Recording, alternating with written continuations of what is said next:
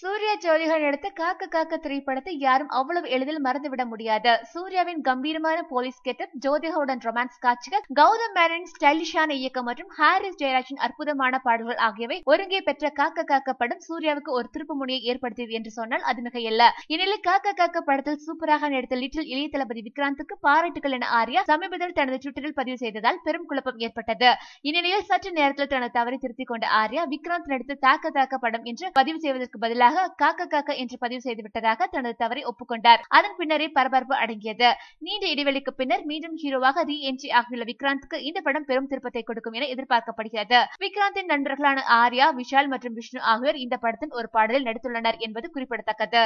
மேலும் சினிமா செய்திகளை உடனுக்குடன் தெரிந்து கொள்ள கீழே உள்ள சப்ஸ்கிரைப் பட்டனை அழுத்தவும்.